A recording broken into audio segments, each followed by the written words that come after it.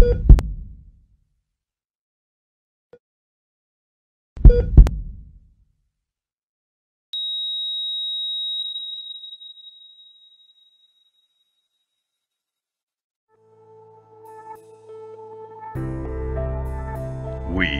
are the backbone of events. We make this happen. We've been kicked down, but we will get back up. Our focus is razor sharp. The show must go on. Events are where communities celebrate and people need community. We will be ready. Today, the arena is empty, but it will be full again, and we will be ready. It's quiet now, but it will be loud again, and we will be ready. It's dark today, but there will be light again. We will return, stronger than ever, recentered, reconnected, redefined. This is temporary. We will overcome.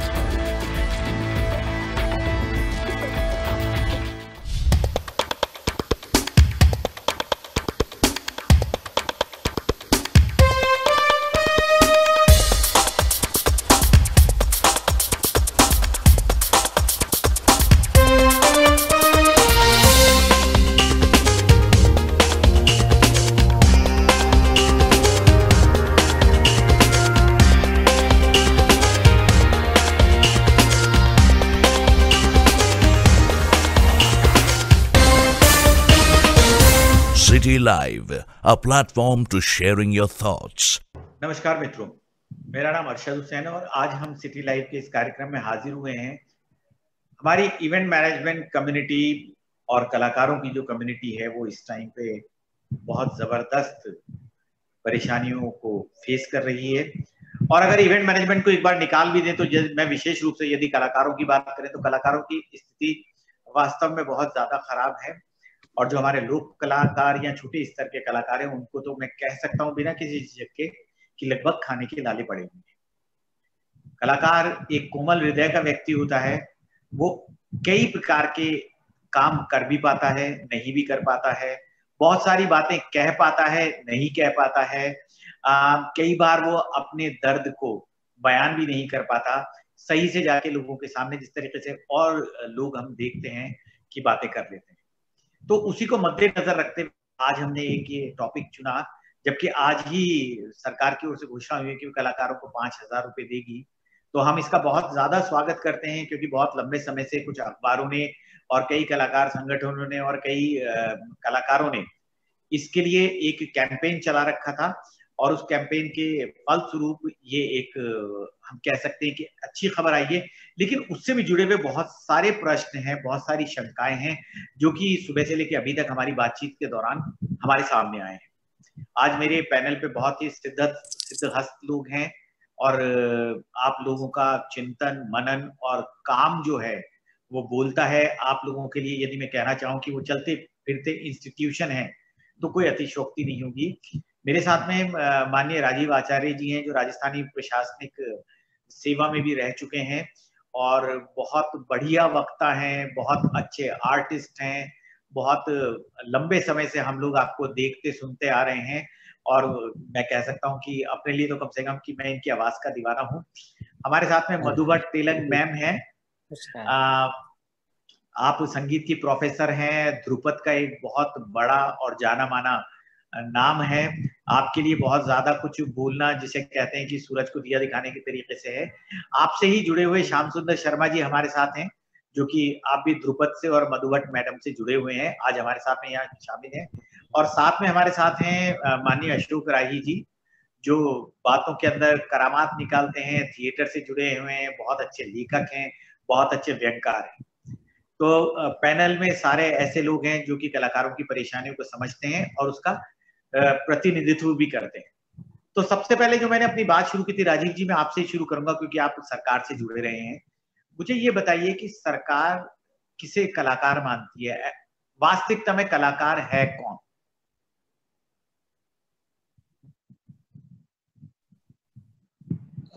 देखिए तो आपको साधुवाद की एक चर्चा करने के लिए एकत्र हुए हैं, जो इस समय में बड़ा मौजू है और जिसकी बहुत ज़रूरत है। बात अब कलाकार की आ रही है तो जो इस समय जिस इस इस परिप्रेक्ष्य में जिन कलाकारों को मदद की हम बात कर रहे हैं, ये वो कलाकार हैं जिनकी रोजी रोटी कला से चलती है। मैं अपने परिप्रेक्ष्य में लूँ तो मैं खुद को कलाकार मानता हूँ, लेकिन मेरी रोजी रोटी उससे नहीं चल रही क्योंकि मैंने सरकार में नौकरी की है। या मैं रिटायर होकर के मैं पेंशन ले रहा हूँ तो मेरे सामने उतना संकट नहीं है। तो कलाकारों के दो स्पष्ट समूह बनते हैं जिसमें एक तो वो कलाकार हैं जो शौक के तौर पे आ, कला से जुड़े हुए हैं अपना पूरा जीवन यापन वो मतलब पूरा जीवन लगा देते हैं लेकिन वो रोजी रोटी का उनका हिस्सा नहीं है। तो ये जो संकट आया है जिसमें सबके रोज़गार बंद हो गए वो संकट उन कलाकार हैं जो आ, सिर्फ़ अपने शौक के लिए या अपनी रुचि को बढ़ावा देने के लिए या कला को किसी तरह से योगदान देने के लिए कला से जुड़े हुए हैं। समस्या उन लोगों के लिए ज़्यादा है जिनकी रोजी रोटी अब वो चाहे वो लोक कलाकार हों चाहे वो शिल्प के कलाकार हों अलग अलग जो जो हुनरमंद हैं लोग कोई मटके बना रहा है कोई जूती गांठ रहा है कोई कशीदा कर रहा है कोई रंगाई बुनाई कर रहा है तो ये ये सभी चीज़ें उनको कलाकार होने का एक ओहदा देती है। और समस्या इन सभी के सामने है। लेकिन अब मैं थोड़ा सा इसमें सरकारी पहलू भी मैं जोड़ू, क्योंकि मैं सरकार में रहा हूँ और मैं देखा है तो सरकार की बहुत सारी योजनाएँ हैं, जिनमें बहुत से कलाकार ऐसे हैं जिनका एक निश्चित आय वर्ग से, वो वो आय वर्ग में आते हैं। जो जो हम सरकार में कहते हैं बीपीएल श्रेणी तो बीपीएल श्रेणी के जो कलाकार हैं या जो लोग हैं, उनको अनाज मुफ़्त मिल रहा है। और इस दौर में तो विशेष रूप से चाहे वो केंद्र सरकार हो, चाहे वो राज्य सरकार हो, उन्होंने विशेष ध्यान रखा है कि ऐसे लोग जो, जिनके पास, आय के दूसरे साधन नहीं है, और खाद्य सुरक्षा योजना के अंतर्गत वो आते हैं या बीपीएल परिवार हैं तो उनको अन्न उपलब्ध हो सके। चाहे वो उनके घर घर पहुंचाना हो, चाहे वो की दुकान से वो लें, किसी ना किसी तरह की मदद तो मिली है। हाँ समस्या ये ज़रूर है कि कैश नहीं मिलता है क्योंकि जो प्रोग्राम करके वो जो कैश हाथ में ले लेते थे, पर हम दूसरा एक पहलू इसका ये भी देखें कि जो कलाकारों की संख्या है, लोक कलाकार, हर गाँव में आपको 150 लोक कलाकार मिल जाएँगे। अगर हम पूरे राजस्थान में करें तो वो उसकी संख्या हज़ारों लाखों तक जाएगी। तो हर कलाकार को नियमित रूप से प्रोग्राम तो सामान्य दिनों में नहीं मिलता। तो वो वो उनका साथ होता है। पहले तो थे वो जजमान थे। जजमान अपने लोक कलाकारों का ध्यान रखते थे। हर परिवार के साथ में एक लोक कलाकार का परिवार जोड़ा हुआ होता था, जो उनके बच्चे के जन्म से लेकर के उसके ब्याह तक के सारे जो रस्म रिवाज हैं, उनकी देखभाल उस जजमान की ज़िम्मेदारी होती थी।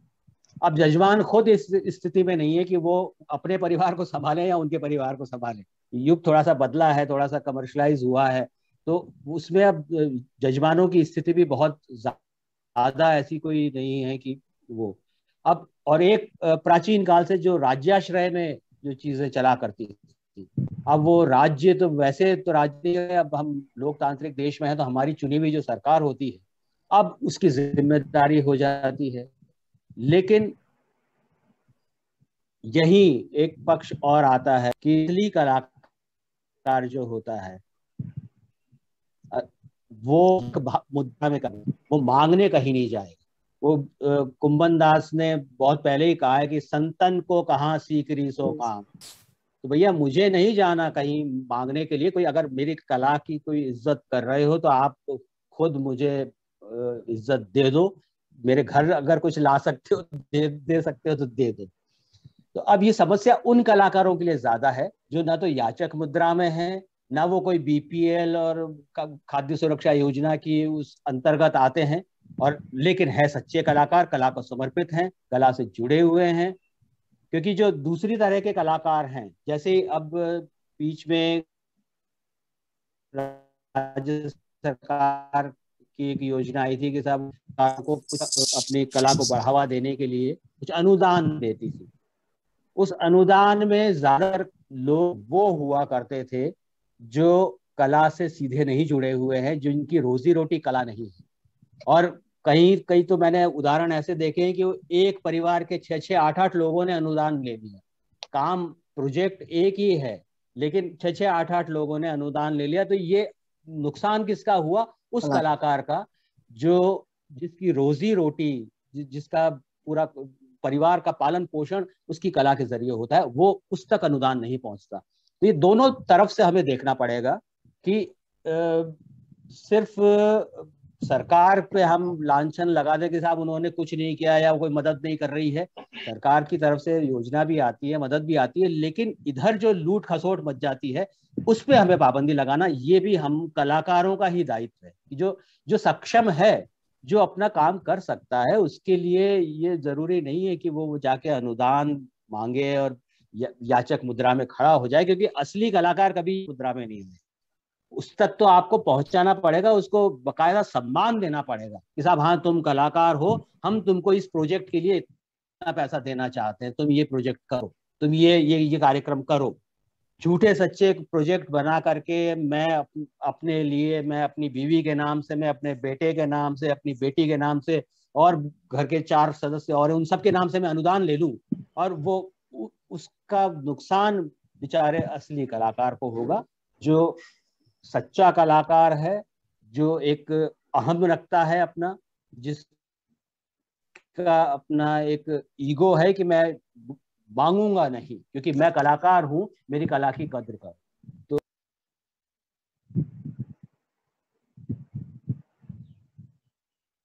का जवाब दे पाया। नहीं, राजीव जी, आपने बहुत बढ़िया जवाब दिया, और मुझे, मैंने इसी आशा से आपसे ये प्रश्न किया था कि मैं किताबी परिभाषा में नहीं उलझना चाहता था। मुझे अपेक्षा थी आपसे कि आप ये बात बताएँगे और इतने आपने जो बातें कहने में झिझक रहा था कि याचक वाली जो बात आपने बोली, वो बहुत प्रैक्टिकल बात बोली।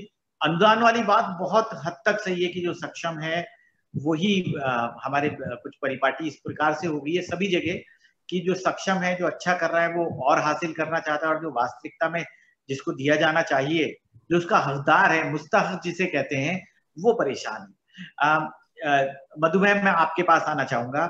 अब मैं ये जानना चाहूँगा कि आपने सतही तौर पे कलाकारों की स्थिति पे जरा सी आप रोशनी डालें इस दौर में क्योंकि बहुत सारे आपके स्टूडेंट्स हैं बहुत सारे लोग आपके संपर्क में हैं आप पढ़ाती थी आप मतलब कॉलेज के बहुत सारे लोग हर क्षेत्र के आपके संपर्क में हैं।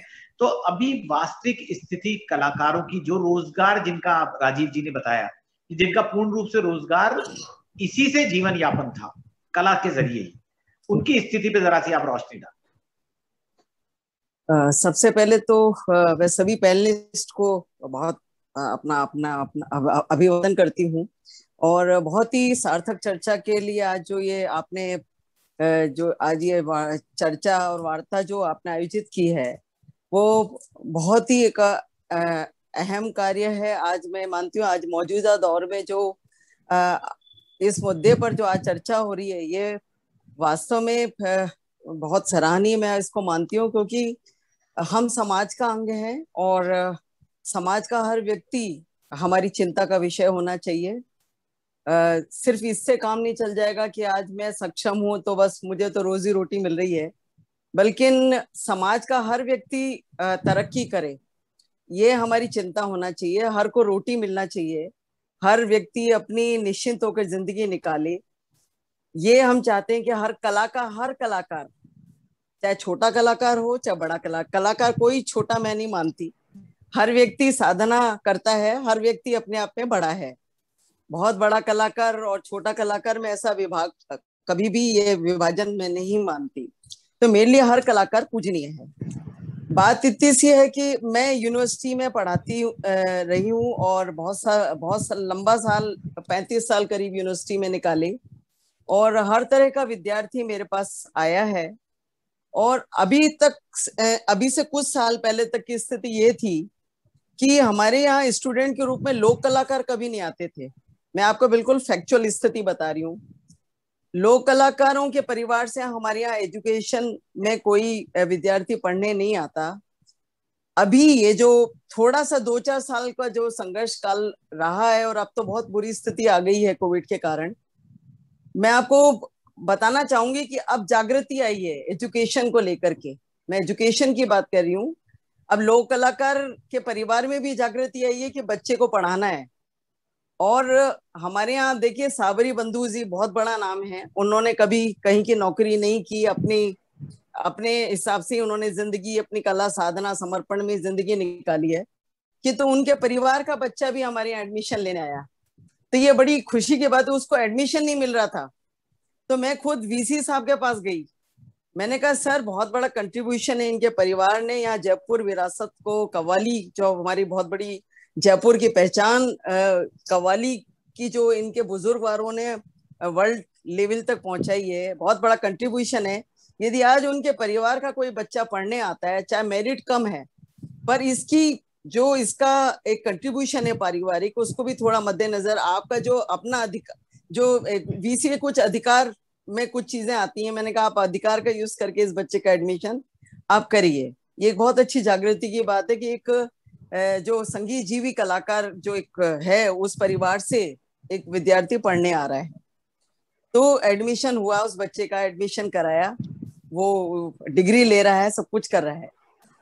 तो कहने का मतलब हमारे पास हर तरह का विद्यार्थी है, पर अब लोक कलाकार जो हमारे इंस्टीट्यूशन तक, हमारे विभाग तक मैंने लोक कलाकारों का आज तक मैंने इतने साल निकाले, तीन चार साल पहले तक कोई लोक कला कोई लंगा मांगणियार के परिवार से आ रहा हो या कहीं कोई जागृति नहीं है एजुकेशन को लेकर। सिर्फ़ उनको यह है कि हमको लोक के माध्यम से आ, हमारी कला के माध्यम से हमको बस कमाना है। उन्होंने उनके बच्चे बच्चे बच्चे सब इसमें आ जाते हैं। एजुकेशन की साइड जागृति कम है दिखाई देती है। बिल्कुल फैक्चुअल स्थिति मैं आपको बता रही हूँ म्यूज़िक का क्योंकि मैं तो उस विभाग में रही हूँ। परंतु तो अब खुशी होती है जब उस परिवार से या संगीत जीवी परिवार से जो संगीत पे ही जिनकी रोजी रोटी है, उस परिवार से जो लोग लोग निकल के आ रहे हैं। बात यह है कि सिर्फ़ मैं ये नहीं कहूँगी कि लोक कलाकारों की ही स्थिति खराब है, बल्कि मैं तो कहूँगी कि क्लासिकल म्यूज़िक की भी स्थिति बहुत खराब है। इस समय कलाकार, बहुत सारे कलाकार मेरे से कांटेक्ट कर रहे हैं कि मैडम, कल के लिए भी रोटी नहीं है। क्लासिकल म्यूज़िक के लिए बात कह रही हूँ मैं आपसे। तो इस समय चाहे कोई भी विधा हो, मेरे लिए कोई इससे मतलब नहीं कि ये लोक कलाकार है, ये क्लासिकल है, हर कलाकार कलाकार है। किंतु जो लोग सिर्फ़ संगीत पे जीवित थे, उनके लिए इस समय बहुत बड़ी, बहुत बुरी स्थिति आ चुकी है कि उनके लिए कल के लिए भी रोटी का जुगाड़ नहीं है। और बहुत अपने स्तर पे हम लोगों ने किया भी जो हमसे बन सकता था।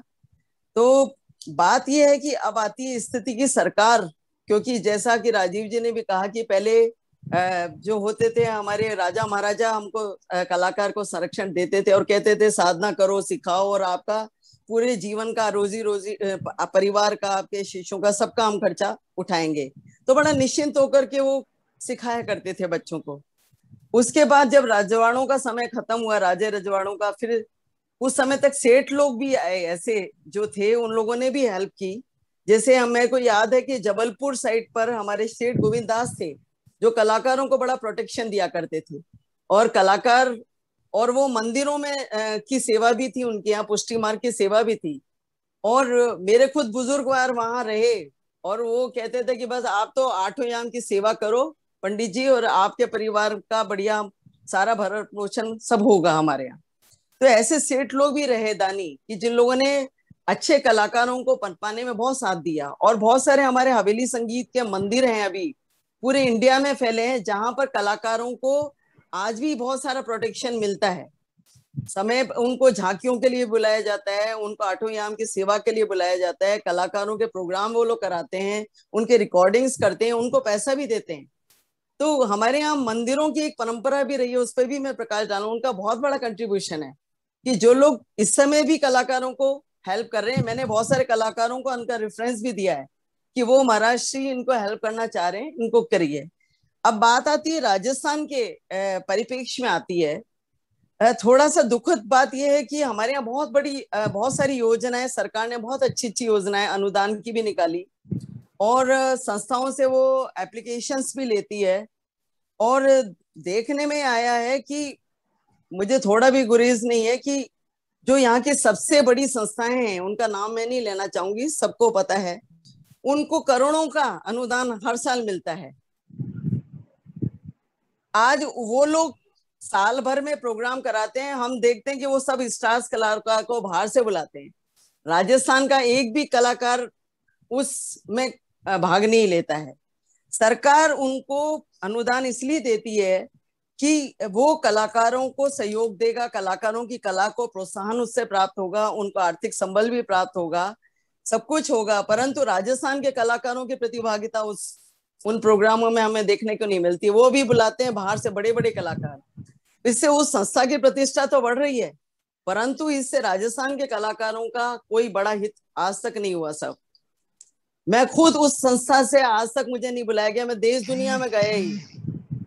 परंतु उस कला, उस संस्था में मुझे आमंत्रित नहीं हुआ, मेरे पिताजी को आमंत्रण नहीं हुआ, जबकि मेरे पिताजी अभी 94 है, उन्होंने पूरी ज़िंदगी राजस्थान के लिए समर्पित की। किंतु उस संस्था ने आज तक उनको बुलाकर ना कोई सम्मान, ना उनको कोई एक गाने का एक कार्यक्रम तक आज तक नहीं दिया। तो ये देखिए कितनी बड़ी स्थिति की सरदार सरकार सबसे बड़ा अनुदान उनको दे रही है और हर साल देती है उनको। किंतु वो राजस्थान के एक भी कलाकार को आमंत्रित नहीं करती है। तो अनुदान किसको प्राप्त हो? ये बहुत बड़ा एक प्रश्न है। और जैसा कि राजीव जी ने कहा कि एक ही परिवार में सबको बांट दिया गया।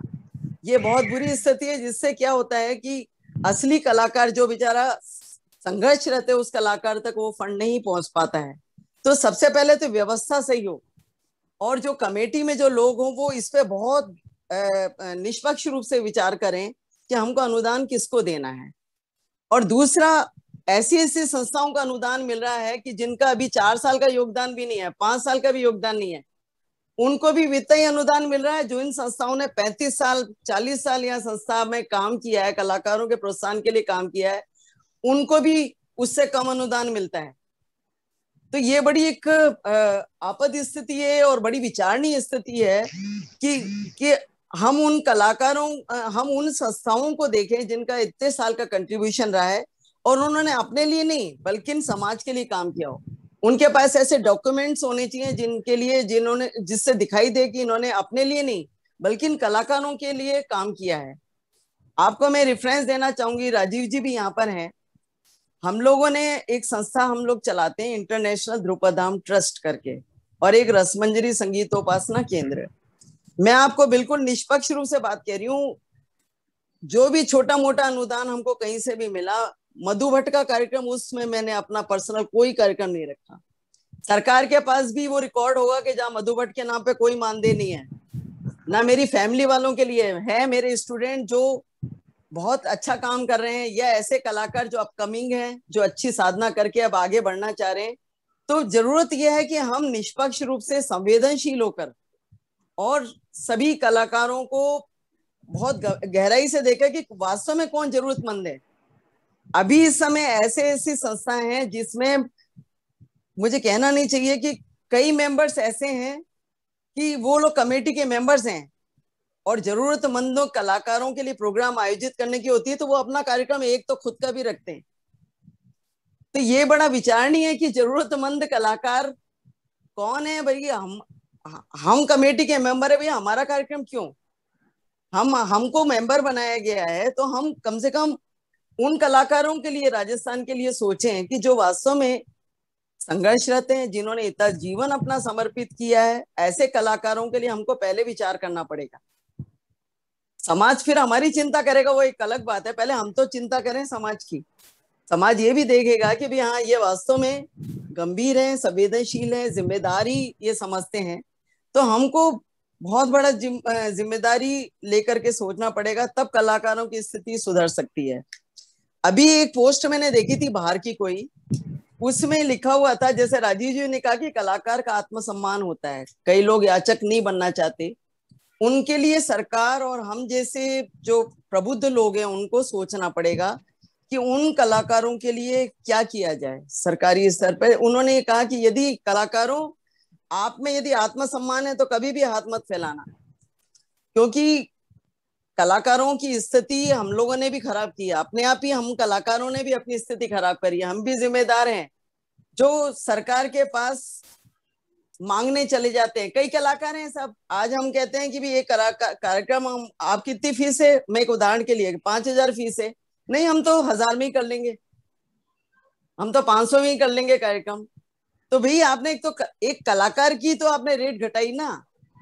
आप कलाकार की इज़्ज़त बनाइए, कलाकार की रेट बढ़ाइए। सरकार के पास बहुत पैसा आता है कलाकारों के लिए। किंतु हज़ार की जगह दो सौ रुपए के कलाकार मिल जाते हैं ना, उनका कार्यक्रम हो जाता है। तो बेचारे जो आत्मसम्मान लिए बैठे हैं, जो कलाकार एक स्तर बनाना चाहते हैं, उन लोगों के लिए भी बहुत मुश्किल है। वो कलाकार स्तर ही नहीं बन पाता।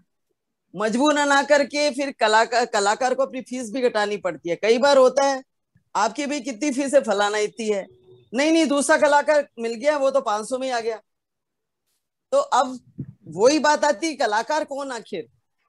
सब कलाकार बराबर हो जाते हैं कोई भी कलाकार का ये नहीं रहता है कि उसने पैंतीस साल लगाए कि पाँच साल लगाए कि दो साल लगाए जिसकी घुसपैठ है वही अपना कार्यक्रम कर लेता है वहाँ पर। तो बहुत इस समय बड़ी वो कहते हैं ना कुएँ में भाँग पड़ना कि पता ही नहीं चल रहा है कि कला का वास्तव में कला का स्तर क्या है? स्तरीय कलाकार कौन है? किन का समर्पण है? कौन लोग क्या कर रहे हैं? और किन कलाकारों को वास्तव में सहायता पहुंचनी चाहिए? कौन वास्तव में जरूरतमंद है? ये एक बहुत बड़ा विचारणीय प्रश्न है और इसमें हमको निष्पक्ष होकर के और कमेटी में भी मेंबर्स उनको रखना चाहिए जिनका वास्तव में समाज के लिए कंट्रीब्यूशन है। अपने लिए नहीं, बल्कि समाज के लिए कंट्रीब्यूशन उनका क्या है? ये देखना पड़ेगा, तब उनको कमेटी का मेंबर बनाया जाए। अदरवाइज़ बंदर बांट चल रही है वो चलती रहेगी और बहुत देखने में आ रही है। और वास्तव में जो हक, हकदार है उस तक नहीं पहुँच पा रही है। मैं एक समीशन और करना चाहती हूँ यहाँ पर कि जैसा कि सरकार पे एक ब्लेम लगाया जाता है बार बार कि कोविड को लेकर मैं कहती हूँ कि लोग कहते हैं कि सरकार को दूसरी लहर का कोई अंदाज़ा अंदाज़ा नहीं था। उन्होंने इसकी कोई तैयारी नहीं की थी इसलिए इतना हमको संकट झेलना पड़ा। मैं कलाकारों के लेवल पे भी एक बात करना चाहती हूँ। अभी इस स्थिति से हमको बहुत सबक लेना पड़ेगा। हमको सरकार बहुत सुविधा देती है एजुकेशन की।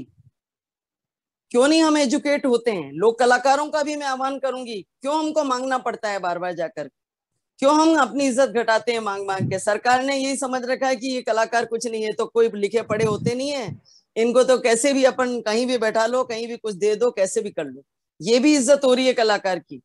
मैं कहती हूँ, मैं एजुकेशन में हूँ और हमारे बहुत बड़े बड़े जो कवि हैं, साहित्यकार हैं बड़े बड़े लीजेंड्स हैं, सब एजुकेट भी रहे एन राजम जी को देखिए प्रोफेसर रही। वो भी तो बहुत बड़ी कलाकार थी, पर एजुकेट हुई। पंडित ओमकार ठाकुर, बहुत बड़ा नाम है। एजुकेट हुए, फिर उन्होंने यूनिवर्सिटी में प्रोफेसरशिप भी की। आप अपने को मज़बूत करिए। हमारे पास बहुत सुविधाएँ हैं। गरीब बच्चों के लिए भी एजुकेशन की बहुत सारी सरकार के पास योजना है। हम उनके प्रति जागरूक हों। लिटरेसी का बहुत प्रचार हो रहा है, प्रौढ़ शिक्षा का भी हो रहा है। सब शिक्षा के अनेक योजनाएँ हमारी सरकार के पास से आ रही हैं। लोक कलाकार बम्बई तक का तो स्ट्रगल करते हैं कि हम वहाँ पर जाकर के बड़े बड़े चैनल्स में आकर के कार्यक्रम के आप एजुकेट अपनी जड़ को मज़बूत करिए ना। वो तो आपको चार दिन बुलाकर देंगे। कुछ पैसे मिल जाएँगे चार प्रोग्राम हो जाएँगे बाद में तो आप वही की वही है। तो आप एजुकेट हुई है। एजुकेट होकर अपने को सबल बनाइए। आज से 1940 की बात बता रही हूँ मैं आपको। मेरे पिताजी वहाँ थे और मेरे बुजुर्गवार थे। वो वहाँ मंदिर में आए राजा भैया पूछ वाले बहुत बड़ा नाम। मेरे पिताजी को उन्होंने सुना। मेरे पिताजी मेरे पिता बाबा लोगों के साथ कीर्तन कर रहे थे।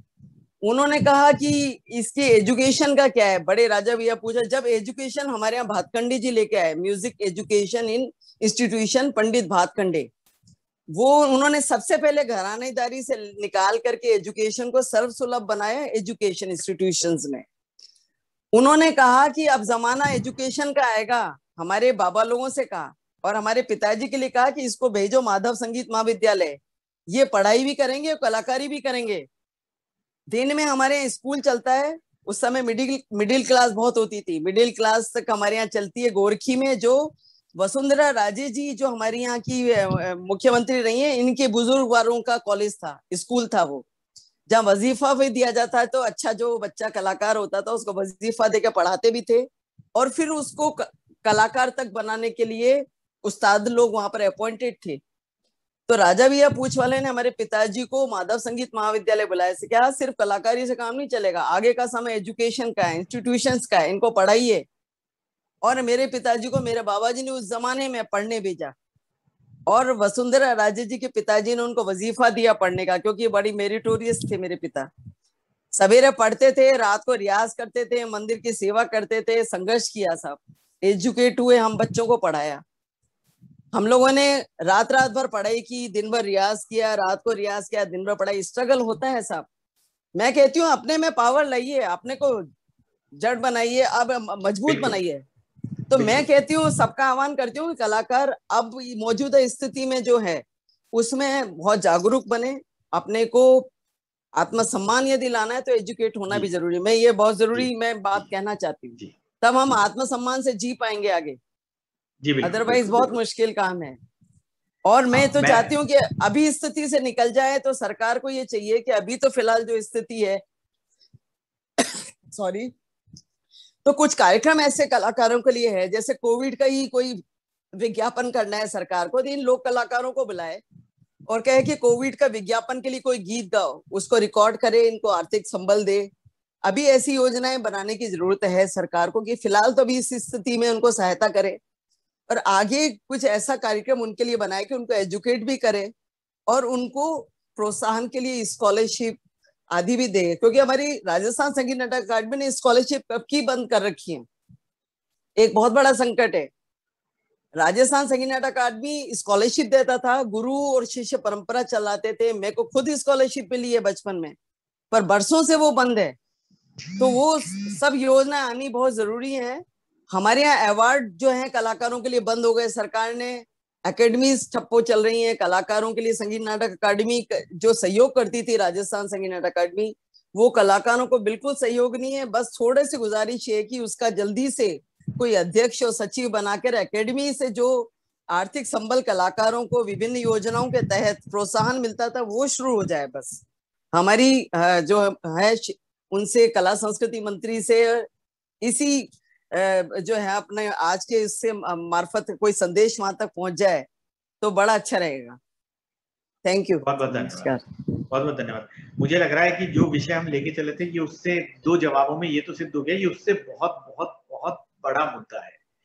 कोविड के परिपेक्ष में इसे दो दो हिस्सों में बांटा जा सकता है कि हम बात अभी कर रहे हैं कोविड के परिपेक्ष में लेकिन ये मुद्दा जो है बहुत बड़ा है और इसके अंदर मैं जैसा कि दो तीन बार मुहावरा यूज़ हुआ है कि कुएँ में भांगे वो तो मैं नहीं कहूँगा लेकिन हाँ कहीं ना कहीं भाँग ज़रूर है ये मुझे महसूस हो रहा है। वो पूरे कुएँ में है या रामझारे में है या ग्लास में है ये तो अंदाज़ा नहीं है। लेकिन मैम आपने बहुत डिटेल में इस बात को समझाया। अब मैं श्याम सुंदर जी के पास आना चाहूँगा। श्याम सुंदर जी मैं अभी कोविड के इफ़ेक्ट में जो कलाकारों की स्थिति है उस पर जरा सा हमें रोशनी डाल।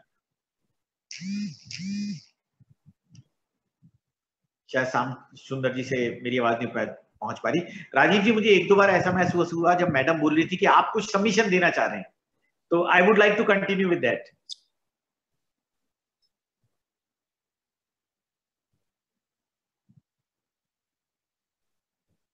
unmute करना पड़ेगा आपको। अनम्यूट नहीं है राजीव भाई आप। आगे। वापिस म्यूट हो गया।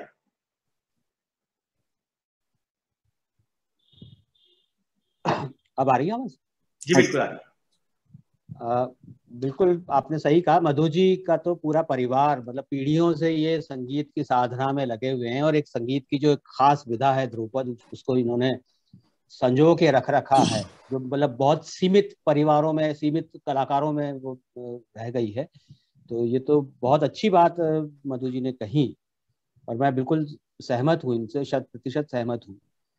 अब भी जो आज के संदर्भ की जो हम बात कर रहे हैं, इस समय पीड़ा उन कलाकारों की ज़्यादा है, जो ना तो बहुत बड़े कलाकार हैं या जो कहीं काम करते हैं, नौकरी कर रहे हैं या जिनके अपना कोई बिज़नेस है और फिर भी वो कला से जुड़े हुए हैं, क्योंकि उनके पास में आर्थिक संकट वैसा नहीं है। और रोज मतलब जो रोटी खाने का जो कह रहे हैं कि साहब रोटी के लाले पड़ गए वो उन लोगों के उन कलाकारों के पास नहीं है जो बीपीएल और खाद्य सुरक्षा से जुड़े हुए हैं क्योंकि उनको भी राशन सरकार दे रही है। अब जो बीच के कलाकार हैं जो ना बेचारे ना तो नौकरी कर पा रहे हैं किसी नौकरी से जुड़े हुए नहीं है और घर का स्टेटस ऐसा है कि वो बीपीएल भी नहीं बन सकते उनको खाद्य सुरक्षा योजना के तहत कोई मुफ़्त अनाज भी नहीं मिल सकता। संकट सबसे ज़्यादा उन कलाकारों के ऊपर आ गया है क्योंकि कार, कार्यक्रम होने बंद हो गए। जो भी थोड़े बहुत कार्यक्रम सरकारी स्तर पे या कोई किसी संस्था के स्तर पे या कोई प्राइवेट स्तर पे जो कार्यक्रम होते थे या कुछ ऐसे भी थे जो कोई आपके जैसे इवेंट मैनेजमेंट से आते थे। तो ऐसे कुछ इवेंट्स होते थे उनमें कहीं ना कहीं उनको रोज़गार मिल जाता था। अब वो सब इवेंट भी बंद हो गए हैं सरकारी कार्यक्रम भी बंद हो गए हैं शादी ब्याह तक होने बंद हो गए हैं तो अब ऐसे में वो वो कलाकार जो ना तो उतने मतलब बिलो पावर्टी लाइन है और ना वो इतना सक्षम है कि वो साल, डेढ़ साल तक अपना बचत के हिसाब से, बचत के सहारे वो अपना जीवन यापन कर सके। क्योंकि वो लोग वैसे हैं कि रोज कमाया, रोज खाया। या थोड़ा बहुत कर लिया तो पंद्रह दिन, बीस दिन, एक दो महीना, इससे ज़्यादा वो इतने सक्षम नहीं कि वो अपना जीवन यापन कर पाए। तो सबसे बड़ा संकट उनके लिए है। तो अभी तो तत्काल जो ज़रूरत मदद की है वो उन कलाकारों को है। जैसे हमारे ये नाटक में हम देखें कुछ कलाकार ऐसे हैं जो जिनको निहायत ज़रूरत है इस समय कि वो एक कलाकार का अब किसी का व्यक्तिशय नाम नहीं लेना चाहिए सभी जानते हैं सभी। तो वो ना, नाटकों में किसी तरह की मदद करके या किसी तरह से रोल करके या बैक स्टेज करके वो उनको कुछ पैसे मिलते थे और उससे उनका परिवार चलता था। अब वो नाटक होने बंद हो गए। तो समस्या वो वो बीच वाले जो मध्यम वर्ग वैसे भी हमेशा मध्यम वर्ग ही पिसता है। जो बड़ा कलाकार होता है उसके पास में साधन है जो छोटा है उसके पास में सरकारी मदद मिल रही है। उसको अन, अ, खाने की दिक्कत नहीं है। ठीक है अब समस्या तो ये पूरी दुनिया पे आई है तो सबको मिलजुल के ही झेलना है और इस मिलजुल के ही हम इससे बाहर निकल पाएँगे। पर वो जो बीच के जो मध्यम वर्गीय कलाकार जो जो न तो याचक मुद्रा में जा सकते और ना उनके पास में कोई साधन है और ना वो किसी योजना के अंतर्गत उनको कोई मदद मिल सकती है वो संकट में ज़्यादा है। तो ये अभी की ज़रूरत तो ये है कि हम चाहे कुछ जो सक्षम कलाकार हैं या जो सक्षम लोग हैं या सक्षम संस्थाएँ हैं वो उनको किसी ना किसी रूप में खुद जाकर के मदद करें क्योंकि वो आपके पास में नहीं आएँगे। वो मदद करे उनको कार्यक्रम नहीं कर सकते तो एक थोड़ा बहुत संबल मिल जाए कि इस बुरे दौर से वो निकल करके खड़े होने लायक हो जाए। उसके बाद तो फिर वो जब गाड़ी चल पड़ेगी फिर वो किसी के पास नहीं जाएँगे वो अपनी कला से अपने हुनर से ही कमाएँगे और अपना घर चलाएँगे। बिल्कुल बिल्कुल बिल्कुल। श्याम सुंदर जी क्या आप मेरी आवाज़ सुन पा रहे हैं आप वो हेलो? सर वो वो कह रहे हैं वो आ, लिंक कर रहे हैं पर तो आ नहीं रहे उनको जुड़ नहीं पा रहे हैं आप। अच्छा ठीक है ठीक है मैम एक बार उनको जोड़िए आप। आ, कोई बात नहीं शायद ये सत्यजीत इसके अंदर कर लेंगे। मैम सामाजिक स्तर पे हमें क्या करना चाहिए? सरकार की बात आप छोड़ दीजिए बिल्कुल। क्योंकि वो तो मामला वहाँ पे गड़बड़ है। तो आप ये मुझे थोड़ा सा बताएँ। जी जी मैंने अभी जैसा कहा था कि वो जैसा राजीव जी ने भी कहा है कि अभी अभी मौजूदा हाल में जो संस्थाएँ हैं संस्थाएँ वो उनको हेल्प करें या कलाकार वर्ग अपने स्तर पर जितना जो भी सहयोग कर सकता है वो सब संवेद होकर एक ऐसा नहीं कि एक एक कराए बल्कि हम सब मिल करके कुछ आ, उसमें कुछ सुनिश्चित करके कुछ अच्छी तरह से प्लान करके उन कलाकारों को हम अपने स्तर पर हेल्प करें जो संस्थाएँ हैं वो हेल्प करें उनको और इसी से चल पाएगा अभी तो। क्योंकि और सरकार सिर्फ़ इतना कर सकती है जैसा मैंने कहा कि जैसे सरकारी जो विज्ञापन वगैरह चल रहे हैं जैसे हम भी दूरदर्शन वगैरह में भी देख रहे हैं कोविड का विज्ञापन चल रहा है और कोई वैक्सीन का ही विज्ञापन चल रहा है उसमें इन लोक कलाकारों का जो संगीत है या कोई क्रिएशन है वो यूज़ करें। और फ़िलहाल उसमें दिक्कत ये आएगी कि वो विज्ञापन बनेगा तो उसमें एक ग्रुप को या एक कुछ चंद कलाकारों को मौका मिलेगा। हाँ वो तो कह रहे हैं समस्या बहुत बड़ी है। नहीं समस्या बड़ी है पर थोड़ा थोड़ा तो इस तरह का भी प्रयास कर लें। कुछ संस्थाएँ भी कर लें कुछ कलाकार भी लोग मिलके कर लें। जैसे अब विज्ञापन विज्ञापन बनाने की जब बात होगी तो सरकारी स्तर पे अगर विज्ञापन बनना होगा तो टेंडर होगा और उसमें फिर वही लोएस्ट रेट होगी और फिर वो जो आपने कहा था कि भाई वो जो कला का स्तर भी गिरेगा उसमें तो ये ये समस्या भी है और उस उससे बहुत ज़्यादा लोगों को कोई मदद मिल नहीं पाएगी। इस समय तो ज़रूरत यही है कि वन टू वन मदद हो कि अगर मैं किसी कलाकार को जानता हूँ मैं अपने लेवल पे जो कर सकता हूँ वो करूँ या मैं अगर नहीं कर सकता मेरी औकात से ज़्यादा वहाँ पे समस्या है तो मैं अब मेरे जैसे चार लोगों को जोड़ू और हम चार लोग मिलकर के उसकी मदद करें। और अगर मैं किसी संस्था को जानता हूँ तो मैं संस्था से गुहार लगाऊँ कि साहब ये एक कम्युनिटी है इनको मदद की ज़रूरत है। इंडिविजुअली तो एक कलाकार को मैं मैं खुद कर सकता हूँ और मैं, मैं कर भी रहा हूँ। सही है कर जब बड़ा समूह है तो वहाँ पे हमें फिर मिल करके। राजीव भाई राजीव भाई आपने एक ये बहुत नाजुक मुद्दा छेड़ा है। देखिए मैं दुखती रख पे हाथ रखे आपने जो टेंडर जो आपने शब्द का है। आपने टेंडर में एल वन की बात आ गई कि लोएस्ट वन मतलब एक तो क्वालिटी का कॉम्प्रोमाइज हो गया क्योंकि लोएस्ट वन है तो मतलब दूसरा एक सबसे बड़ा जो मैंने टेंडर के अंदर देखा है जहाँ पे कलाकार और संस्थाएँ अपने आप को उस तरीके से इम्पेनलमेंट हाँ। क्योंकि इम्पेनलमेंट में उन्हीं पाँच सात दस संस्थाओं को लिया जाता है जिनका एक फाइनेंशियल टेक्निकल बिड बना दी जाती है कि जिसका टर्नओवर लगभग इतना हो। तो हाँ। अगर टर्नओवर इतना वाला एलिजिबल है तो सर एक कलाकार जो जमीनी स्तर का है वो तो बाहर है बिल्कुल। बिल्कुल। वही तो वही तो प्रॉब्लम आ रही है सर। तो इस इस परिपेक्ष में तो आपको कुछ समाधान लगता है इसका राजीव भाई? आपसे इसलिए बार बार आता हूँ क्योंकि आप सरकार और, थिएटर और सबके नुमाइंदे हैं नहीं, वो देखिए, अब सरकार की भी एक अपनी सीमाएँ होती हैं कि उनको एक नियमबद्ध तरीके से चलना होता है। अगर वो हम नियम तोड़ के कल, कुछ करने की कोशिश करेंगे तो कल को कलाकार ही लांछन लगा देंगे। साहब, इन्होंने ये गड़बड़ कर दी, इसमें या तो वो, वही जैसे हर टेंडर के बाद में जब जिसको टेंडर नहीं मिलता वो ये आरोप लगाता कि इन्होंने पैसे खा लिए। तो एक अच्छा खासा कोई बेचारा ईमानदारी से भी काम कर रहा होता है वो शक के घेरे में आ जाता है। तो इसलिए सरकार में एक नियमबद्ध तरीके से काम करना है वो की सीमाएँ होती है वो वो करनी भी पड़ेगी। लेकिन हम निजी तौर पे हम कर सकते हैं जो निजी संस्थाएँ हैं या जो सक्षम लोग हैं यू जो वो ये देखने में क्या आता है वो कला का हम हॉस्पिटल जाते हैं फल का एक टोकरा लेकर के जाते हैं मरीजों को बांटते हैं वहाँ मंशा नियत का फ़र्क हो जाता है वहाँ पे कि वो एक आ, एक आदमी को चार केले देने के लिए दस लोग फ़ोटो खिंचवाते हैं और उसको अखबार में छपवाते हैं। हाँ, ये ये मदद नहीं है।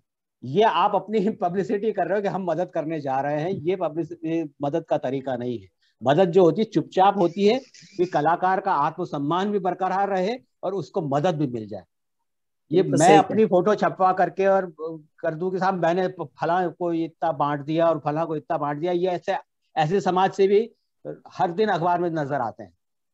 और उनके नाम भी हम जानते हैं मतलब क्योंकि वो रोज अखबार में छपते हैं इसलिए उनके नाम भी जानते हैं। लेकिन जो असल में मदद कर रहा है उसका कोई नाम नहीं जानता। न उस पीड़ित व्यक्ति को जानता और न उसकी मदद करने वाले को जानता। तो हम गुमनाम रह के मदद करें, वो ज़्यादा अच्छा है। तो कलाकार का आत्मसम्मान भी कायम रहेगा और उसको मदद भी मुहैया हो जाएगी। तो इसलिए मैं वन टू वन की बात कर रहा हूँ कि अगर मैं सक्षम हूँ और मैं किसी एक, ऐसे कलाकार को जानता हूँ जिसको ज़रूरत है, मैं चुपचाप उसकी मदद करूँ। अगर वो समूह बड़ा है और मेरे क्षमता से थोड़ा सा ज़्यादा बड़ा हो रहा है तो मैं अपने जैसे चार लोग और इकट्ठे करूँ और उन पूरे समूह की मदद करूँ। और फिर भी अगर बड़ा है तो फिर मैं किसी संस्था की या पूरे कलाकार समूह की वो योजना बना करके उनको मदद करूँ तो तभी ये संभव हो पाएगा। बिल्कुल बिल्कुल।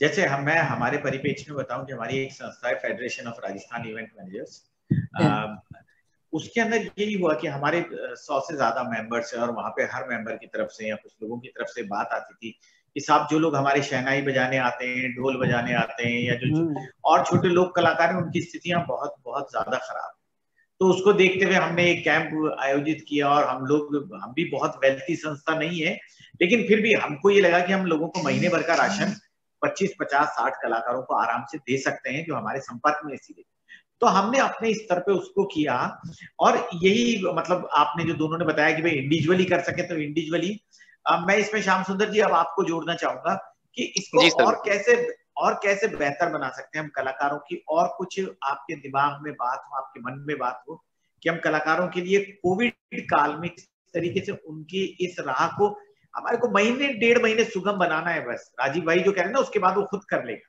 तो वो उसका एक डेढ़ महीना कैसे हम उसके लिए एक संबल बने? जी नमस्कार। पैनल में शामिल जो जितने भी हमारे सम्माननीय हैं उनको मैं अभिवा, सादर अभिवादन करता हूँ। और आपका भी अभिवादन सर।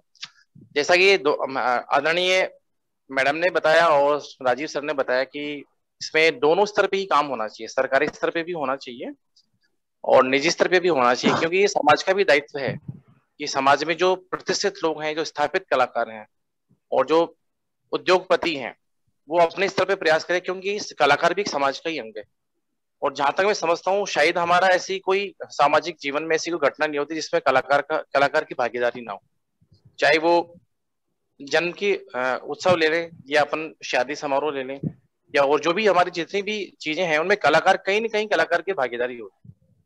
तो इस मुश्किल समय में हमारी ये ज़िम्मेदारी बनती है सबकी कि इस मुश्किल समय में उस कलाकार वर्ग को हम जिस भी स्तर पर, जिस तरीके से, चाहे वो सूक्ष्म रूप में हो, चाहे विस्तारित हो जिस भी तरीके से हम हेल्प यदि कर सकते हैं तो ये अपने आप में बहुत बड़ा पुण्य होगा, अपने आप में बहुत बड़ा काम होगा। उस कलाकार, जिस, जो कलाकार एक साधना करता है, क्योंकि जो कलाकार साधक है, उससे हम अपेक्षा नहीं कर सकते कि वो फैक्ट्री में जाके काम करेगा, या वो कहीं जाके मजदूरी करेगा, क्योंकि उसका एक मूल जो प्रवृत्ति है, उसकी कला की है।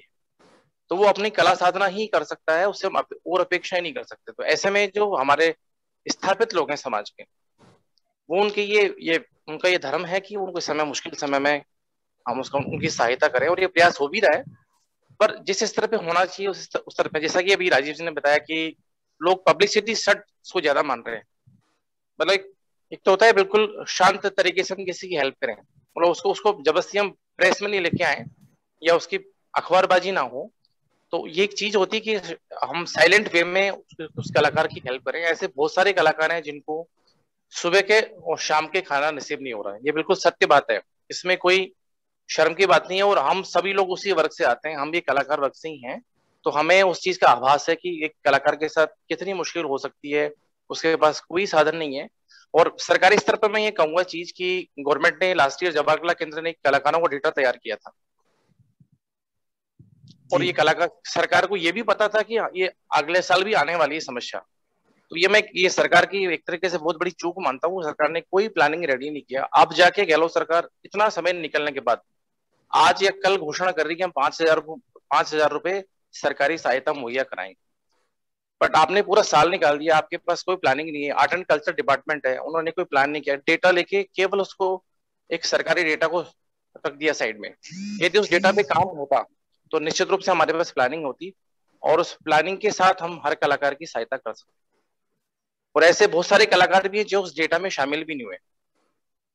क्योंकि वो पढ़े लिखे नहीं है, उनके पास सोर्सेज नहीं है, वहाँ तक सरकार की पहुँच नहीं है।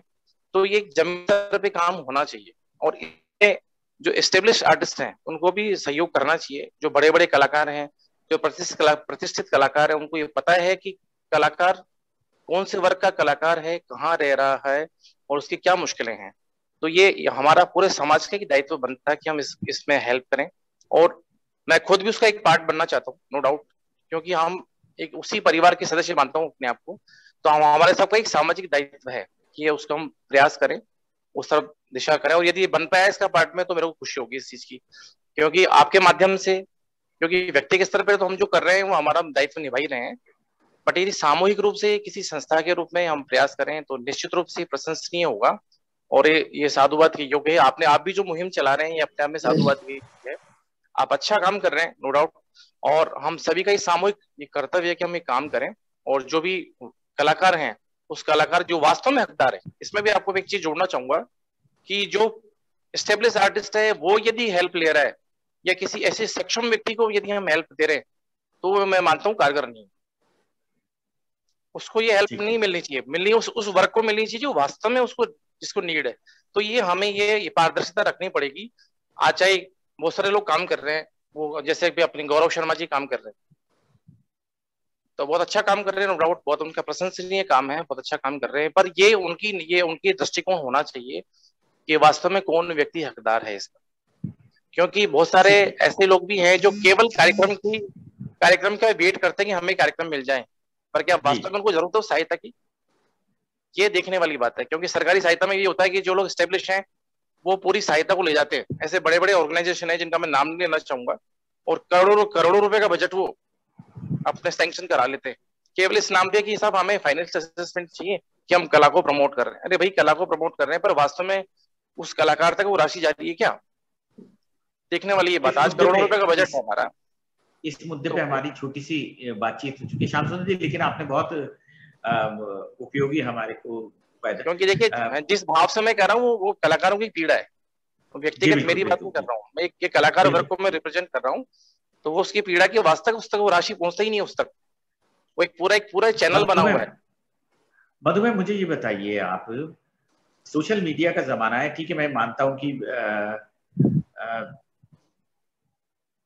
क्या कहते हैं संगठन के स्तर पे ठीक है अभी कलाकारों के बड़े संगठन नहीं है अच्छे संगठन नहीं है लेकिन सोशल मीडिया आज अपने आप में इतना ज़्यादा पावरफुल हो चुका है कि आप अपनी बात पहुँचाने के लिए अब बहुत बड़े संगठन की जगह अगर आप कुछ लोगों का समूह भी चीज़ों को बढ़ाना चालू करे जैसे हम देखते हैं लोग कहते हैं कि आईटी सेल है या ये है तो किसी एक मुद्दे को दस आ, मतलब पाँच हज़ार तीन हज़ार लोग जब फ्लोट करना चालू करते हैं तो उसको ट्रेंड करवा देते हैं और वो उसको आ, लोगों की नज़र में ले आते हैं। तो क्या हम लोग सोशल मीडिया के ज़रिए या कुछ इस तरीके से अपने कलाकारों को मोबिलाइज नहीं कर सकते कि हमारी बातें सही जगह पहुँचे और ये जो विसंगतियाँ हम बार बार सुन रहे हैं, आप तीनों के मुँह से ही मैंने लगभग ये बात सुनी कि इन्हें दूर किया जा सके। जी। देखिए सोशल मीडिया तो बहुत बड़ा वो एक माध्यम है। कोई भी हम, यदि कोई मुद्दा है, सामाजिक मुद्दा है, और हमको उस, वो बड़ा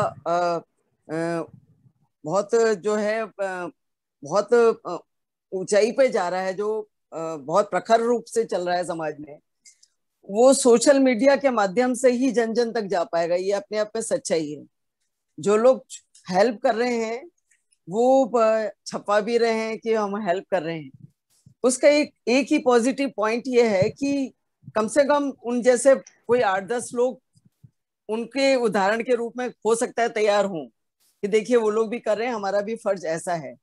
मैं उसमें इतना ही कहूँगी कि कलाकार की फ़ोटो वगैरह, कलाकार का नाम वगैरह करके उसको थोड़ा सा कलाकार का सम्मान बचा के रखना चाहिए। उसमें सिर्फ़ इतना ही हो रही है कि हमारी तो वाहवाही हो रही है, पर उस कलाकार की इज़्ज़त नहीं हो पा रही है। बल्कि वो बेचारा कल तक इज़्ज़त अपनी ढक करके चल रहा था, आज उसकी फ़ोटो छप रही है समाज में। तो सोशल मीडिया माध्यम है, परंतु हमको उसको किस तरह से यूज़ करना है, जिसमें कलाकार का आत्मसम्मान भी बचा रहे हमको उस उस कार्यशैली पर बहुत विचार करना पड़ेगा कि जिसमें कलाकार का थोड़ा सा मैं थोड़ा सा मैं थोड़ा सा स्पष्ट करना चाहूँगा इसके अंदर। जी, आ, जी। मेरा प्रश्न थोड़ा सा अलग था इसके अंदर कि अच्छा। हम अपनी आवाज़ सही लोगों तक सही अथॉरिटीज तक आ, किस अब तो सोशल मीडिया एक माध्यम है तो अगर संगठन नहीं है तो हमारे पास सोशल मीडिया है सही जगह आवाज़ पहुँचाने के लिए तो उसके ज़रिए क्या हम इन विसंगतियों को दूर नहीं कर सकते जिनका हम ज़िक्र कर ये मेरा प्रश्न है। देखिए थोड़ा सा मैं इसमें एक ही बात कहूँगी कि ये समस्या तो बहुत समय से चल रही है। कलाकारों को संबल नहीं प्राप्त हो रहा है स्पेशली राजस्थान कॉन्फ्रेंस में। परंतु तो क्या होता है कि जब मीडिया का जमा मीडिया नहीं था और हम ये कहते थे कि चलिए भाई मीटिंग हो रही है आप लोग सब इकट्ठे हुई है माफ़ करिए एक कलाकार की दस कलाकार जुटते बीस कलाकार नहीं आते पचास नहीं आते। वो कलाकारों में ही कोई एकता की कमी है। आज मैं एक उदाहरण थोड़ा सा देना चाहूँगी। हमारे कोई सब हालाँकि उदाहरण थोड़ा सा अलग है, परंतु इस पे थोड़ा अप्लाइड होता है कि हमारे यहाँ कोई विषय को लेकर के चल रहा था कि म्यूज़िक में बीएड ज़रूरी नहीं है। एमए जो कर ले, उसको बीएड ज़रूरी नहीं है, क्योंकि वो प्रोफेशनल कोर्स करके ही आता है तो उसके लिए बीएड ज़रूरी नहीं है। तो बीएड वहाँ लागू कर दिया गया म्यूज़िक वालों के लिए भी। तो ड्राइंग पेंटिंग वाले आए कि हमारे ऊपर भी लागू कर रखा है तो एक बार सब आ जाइए, सरकार के पास जाते हैं और ये जो है बीएड इसको खत्म कर दिया जाए। रोज विद्यार्थी वो बेचारे, चार विद्यार्थी जाके धरना लगा के जाके बैठ जाते थे। ड्राइंग के बीस जने बैठ गए, पचास, हमारे म्यूज़िक वाले दो जना भी नहीं जाता था।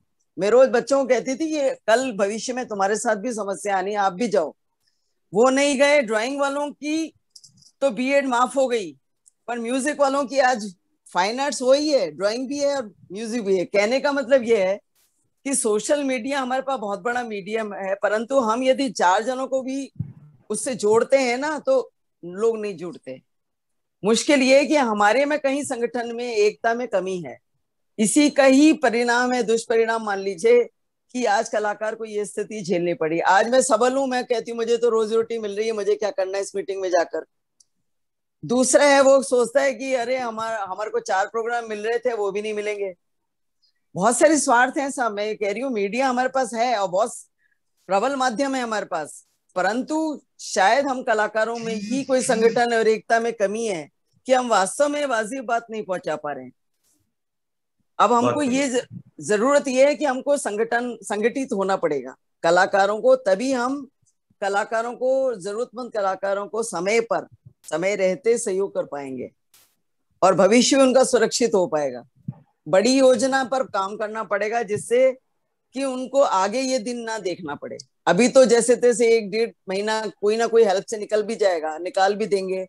हम जैसे लोग जागरूक हो, दस लोगों को इकट्ठा भी करेंगे। कहेंगे कि भी आप भी करो, हमने भी की है, थोड़ा बहुत आप भी करिए। अब मेरे पास बहुत सारे कलाकारों के बाहर से फ़ोन आए, मधु जी, हम भी हेल्प कर रहे हैं, आप कुछ कर सकती हैं क्या? तो कह रहे हैं, कलाकार लोग कर रहे हैं ऐसा काम। अंदर अंदर कर रहे हैं कि मधु जी एमपी से कोई फ़ोन था। फलाना मृदंग वादक है उसके लिए मुश्किल है, मधु जी कुछ सहयोग करिए। अच्छा लगा, चलिए ठीक है, आपने मुझे इस लायक माना। और मेरे को ईश्वर ने कुछ किया है तो हम जितना भी कर सकें, करिए। और लोग कर रहे हैं, राजीव जी बोल रहे हैं, हम लोग भी कर रहे हैं। हर संवेदनशील कलाकार करता है। और कर रहे हैं लोग, परंतु बात यह है कि अब इस पर पुख्ता काम करना बहुत ज़रूरी है। बार बार मैं वही आ रही हूँ कि इस पे कोई ऐसी योजना हमको कलाकारों को संगठित होकर करना पड़ेगा जिससे कि आगे हमें ये ना देखना पड़े। और वही बात है अब अब वही वाली बात है एक से एक ही जुड़ के अभी सहयोग हो पाएगा। वही बात होता है सरकारी अपने नियम है उसके तहत फंड होंगे उसके नियम के अनुसार क्या होगा और क्या नहीं होगा ये तो एक लंबा दौर है ये लंबी चीज़ हो जाएगी। अभी मौजूदा हालत है कि हमको ही जरूरतमंद कला और इवन मैं इस समय प्रतिष्ठित कलाकारों को कहूँगी कि वो लोग जिन लोगों के पास काफ़ी कार्यक्रम रहे जिन्होंने काफ़ी अच्छा अर्न भी किया है अब समय आया है कि कम से कम कुछ चाहे क्षणिक की हेल्प करें कुछ करें उनको। बिल्कुल सही है। बिल्कुल सही सबमिशन है आपका। देखिए मैं आपको एक बात बताऊँ मैं एक, एक, एक चीज़ जोड़ना चाहूँगा सर मैं एक चीज़ जोड़ना चाहूँगा इसमें। जैसे कि आपने आपने बताया कि प्रतिष्ठित कलाकार इसमें अपना योगदान करें। और साथ साथ वो इसमें भी सक्षम है कि वो कलाकारों में जागरूकता लाएँ क्योंकि एक स्टेब्लिश आर्टिस्ट होता है उसके मैं, मैं, मैं ये मान के चलता हूँ कम से कम सौ कलाकार उसको फॉलो करते हैं। कम से कम एक स्टेब्लिश आर्टिस्ट को सौ कलाकार फॉलो करते हैं तो जो स्टेब्लिश जितने भी आर्टिस्ट हैं जो बड़े बड़े जो नाम है जो प्रसिद्ध व्यक्ति हैं वो कम से कम अपने स्वयं तो सहायता करें ही बिल्कुल बेशक करना चाहिए बट साथ में जो एक कलाकार समाज को जागरूक करें कि आगे स्थिति ऐसी नहीं आए। तो हम ऐसा खुद भी मंथन करें सरकारी स्तर पर भी मंथन होना चाहिए। कलाकार वर्ग भी मंथन करें और समाज भी इसके लिए मंथन करें। जो बड़े बड़े कॉर्पोरेट आज बड़े बड़े जो उद्योगपति हैं उनका भी दायित्व बनता है कि वो किसी भी तरीके से उनसे प्रोडक्टिविटी लीजिए। हम ये नहीं कहते कि आप दान दीजिए। दान नहीं देना है। पर उनसे बड़े बड़े होटल ग्रुप्स हैं आज जयपुर में उनसे प्रोडक्टिविटी लीजिए आप उनसे परफॉर्म करवाइए। उनको आप, आप वहाँ पे नौकरी दीजिए। तो ताकि कम से कम वो भी रोज़गार भी मिले एक तरीके से और आपको भी, जो कॉर्पोरेट है, उनको भी इसका फ़ायदा मिले और कलाकार भी अपना रोज़गार मिले और वो अपना जीवन चला सके। और ऐसी स्थितियाँ नहीं आए कम से कम, क्योंकि मांगना किसी के भी सम्मान को ठेस पहुँचना है। तो वो स्थिति तो आनी नहीं चाहिए किसी के सामने। तो परिस्थिति ये, परिस्थिति में हम जागरूक रहे और हमारा दायित्व है कि हम सब मिलकर इस काम को करें तो मेरे हिसाब से ठीक रहेगा सर। जी, बिल्कुल बिल्कुल। देखिए, हमारे जो एक लाइन हम लोग गाते सुनते आए हैं। सारे जहाँ से अच्छा हिंदुस्तान हमारा। जी। उसके जो निचोड़ में यही बात है कि हमारा सामाजिक ताना बाना इस तरीके का है कि जहाँ तक संभव होता है लोग एक दूसरे की सहायता करते और जब सहायता का वक्त आता है तो लोग अपनी निष्ठाओं से अपनी आस्थाओं से अपनी जात पात से सबसे बाहर निकल के सहयोग करते हैं। वो उस टाइम भूल जाते हैं कि हम कौन है हम, हम क्या हैं। या हमारे बीच में क्या डिफरेंसेस है, ये हमारे सामाजिक संरचना की एक बहुत बड़ी और महान विशेषता है। और इसीलिए जो आज भी इस बात का यकीन है कि हमारे कलाकार भाई परेशान हो सकते हैं कुछ वक्ती तौर पर। लेकिन किसी के भूखे मरने की नौबत आ जाए, ऐसा नहीं होगा, ऐसा हमारा समाज नहीं होने देगा। किसी भी हाल में ये स्थिति नहीं आएगी। अब प्रश्न बचता है केवल एकता का। मेरे साथ में अशोक राही जी भी हमारे साथ में है। अशोक जी, मैं आपसे ये प्रश्न करना चाहूँगा कि जो सरकार ने कलाकारों को पाँच हज़ार रुपए देने की जो घोषणा की है तो वो कलाकारों की श्रेणी का सरकार किस तरीके से उसका आकलन करेगी या उसको अपनाएगी? और उसमें कौन कौन आएँगे? क्या उसमें सिर्फ़ लोक कलाकार आएँगे या उसमें गायक भी आएँगे, नर्तक भी आएँगे और कलाएँ आएँगी? तो ये ये किस प्रकार से होगा ये जो इस कोरोना काल में दूसरे लोगों की तरह कलाकारों की भी हालत बहुत ख़राब हुई है। हमारे राजस्थान प्रदेश में विभिन्न तरह के कलाकार हैं। कुछ रंगमंच से जुड़े हुए हैं कुछ लोक गीतों से जुड़े हुए हैं कुछ आर्ट और क्राफ्ट से जुड़े हुए हैं ग्रामीण क्षेत्रों में रहने वाले हैं लोक नाट्य करने वाले हैं नौटंकी करने वाले हैं। ऐसे हज़ारों कलाकार हैं और उन सब कलाकारों के सामने जीविका की बड़ी समस्या उत्पन्न हो गई थी। क्योंकि बहुत सारे कलाकार कीर्तन करते थे, बहुत सारे सभाओं में जाते थे, बहुत सारे समारोहों में जाते थे, शादी ब्याह में जाते थे। रंगमंच बंद हो गए।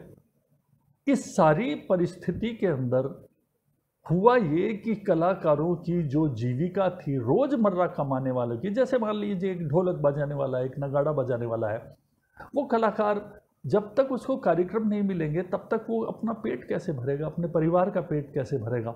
ये बहुत बड़ी समस्या, और ये समस्या एक दो दिन की नहीं, महीनों की थी, बल्कि डेढ़ बरस से ये समस्या थी। और इस समस्या के चलते ही कलाकारों ने सरकार से ये निवेदन किया कि उनको कुछ सहायता दी जाए, जैसे दूसरे तबके के किसानों को दी जा रही है और दूसरे लोगों को, मजदूरों को दी जा रही है।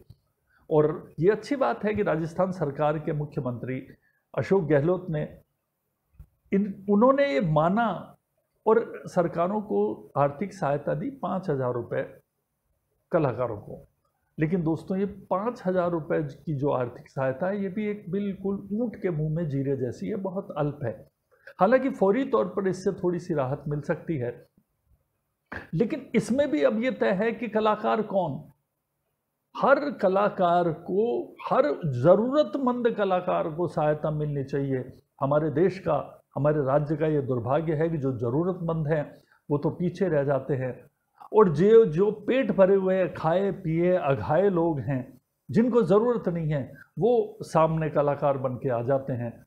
दोस्तों ये कोरोना काल में समाज की भी ये ज़रूरत है, समाज का भी ये दायित्व है कि वो कलाकारों की सुध ले।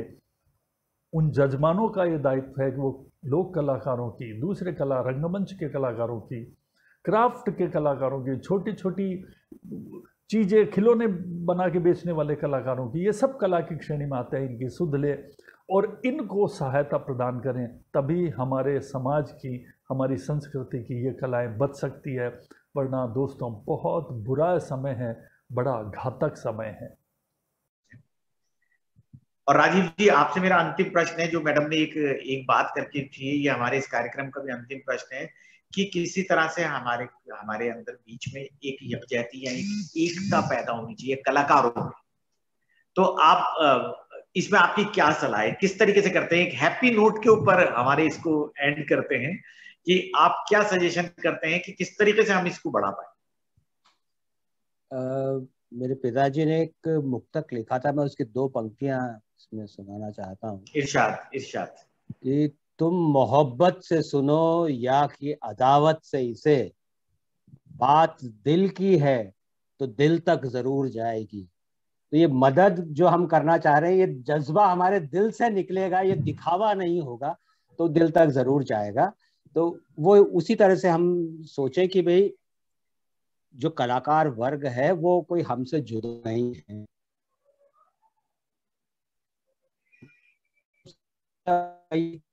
अलग अलग तबके हैं वो वो सब अपने तरह से कुछ ना कुछ करना चाह रहे हैं, लेकिन जितनी पीड़ा हम लोग महसूस कर पाएँगे उन कलाकारों की कलाकार होने के नाते तो वो दूसरा नहीं महसूस कर पाएगा। इसलिए शुरुआत तो हम ही लोगों को करनी पड़ेगी और दिल से करनी पड़ेगी और दिल से हम जब करेंगे तो दिल से दिल जुड़ते चले जाएँगे और वो एक चेन बन जाएगी और ये समस्या जो है, ये ठीक है, लंबी है, गम की शाम, मगर शाम ही तो है गुजर जाएगी। ढलेगी ढलेगी नहीं, बिल्कुल, बहुत बढ़िया आपका सजेशन है। बहुत ही पॉजिटिव है और मुझे भी अपनी लिखी हुई दो लाइनें याद आ रही हैं अभी कि जब वक्त आएगा क्योंकि हमारे पास ये तो है नहीं कि सब कुछ ऐसे ही चलेगा। एक महीने बाद दो महीने बाद तीन महीने बाद चीज़ें वापस पटरी पे आएँगी उसी तरीके के आयोजन होंगे। हम वापस खुशियाँ हमारे पास लौट के आएँगी क्योंकि दुनिया में कोई भी चीज़ ऐसी नहीं है जिसने मानव जाति को हरा दिया। किसी भी हम्म। तरीके की बीमारी हो किसी भी तरीके का तूफ़ान हो किसी भी तरीके की विपदा हो मानव हमेशा विजेता बन के ही बाहर आया है। तो इस भी ये कोरोना के अंदर भी ऐसा ही होगा। और मुझे दो लाइनें याद आ रही है जो मैंने लिखी थी जो अभी वाजे लग रही है मुझे कि जब वक्त आएगा तो ये जमाना जलेगा अभी वक्त के आने में जरा वक्त लगेगा। तो दोस्तों वक्त ज़रूर आएगा तो वो वक्त ज़रूर आएगा। और आप लोगों का बहुत बहुत धन्यवाद बहुत सार्थक ये चर्चा रही और मैं आपको वास्तविकता में बताना चाहता हूँ कि मैं जिस सोच के साथ आया था मैंने शायद अपने आप को कोविड के प्रति एक मेरी एक लिमिटेशन थी, मैंने अपने आप को बाँध रखा था। लेकिन जो बातचीत हुई है, उसने मेरी समझ को भी, जो कलाकारों की समस्याएँ हैं, जो जमीनी स्तर पे बिना कोविड के भी वो लोग परेशानियाँ झेल रहे हैं, उसको समझने में बहुत मदद हुई है। और एक इवेंट मैनेजमेंट कंपनी का मैं चलाता हूँ तो हम लोगों के लिए कहा जाता है कि हम तो सारी विधाओं के पोषक हैं। हम तो हर विधा का संरक्षण करते हैं। हम सबको बुलाते हैं हम सबके लिए काम करते हैं और हम सबके मुफ़्त के मार्केटिंग एजेंट हैं। क्योंकि हम्म। आज कोई क्लाइंट अगर मैडम को बुलाएगा या थिएटर कराना चाहेगा तो हम हमेशा तत्पर रहते हैं कि हाँ हाँ हम जानते हैं हम बुला देंगे आपके लिए। तो मैं मैं मुझे भी बहुत बेहतर हुआ है मैं अपनी इंडस्ट्री को भी इसके लिए तैयार करूँगा अवेयर करूँगा इन बातों के बारे में कि जितना बाहरी रूप से दिखाई देता है समस्या उससे थोड़ी सी ज़्यादा बड़ी है। तो हमें भी और खुला दिल रख के आगे बढ़ना चाहिए। और ये सारे काम करने चाहिए। आप लोगों का बहुत बहुत धन्यवाद। फिर मैं कहूँगा बहुत अच्छी चर्चा रही बहुत सार्थक चर्चा रही और मेरी आशा से ज़्यादा अच्छी रही। और हमारे कैमरे के पीछे जो हमारे साथी हैं टीम सिटी लाइव के सत्यजीत और विश्वजीत दोनों का आपका भी बहुत बहुत धन्यवाद और आप चारों साथियों का बहुत बहुत धन्यवाद। नमस्कार। नमस्कार।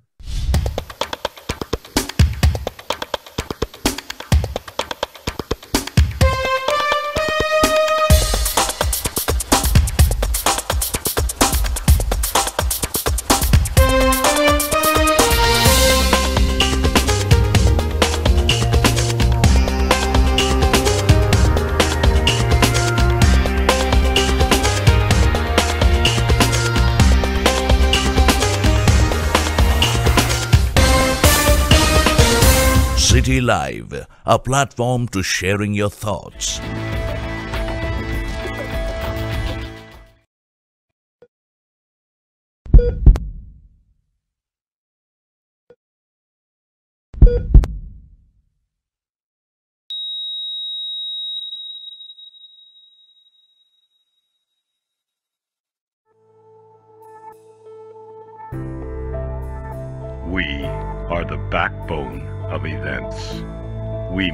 This happen. We've been kicked down, but we will get back up. Our focus is razor sharp. The show must go on. Events are where communities celebrate and people need community. We will be ready. Today, the arena is empty, but it will be full again, and we will be ready. It's quiet now but it will be loud again, and we will be ready. It's dark today, but there will be light again. We will return, stronger than ever, recentered, reconnected, redefined. This is temporary. We will overcome.